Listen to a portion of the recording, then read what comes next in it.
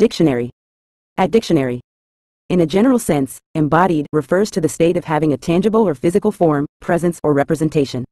It goes beyond the conceptual to denote something that is manifested in a concrete or perceivable manner. This term is often used to describe ideas, values, or qualities that are represented in a tangible, visible, or experiential way. When an abstract concept is said to be embodied, it means that it has taken on a real, observable form, making it more tangible and accessible to individuals.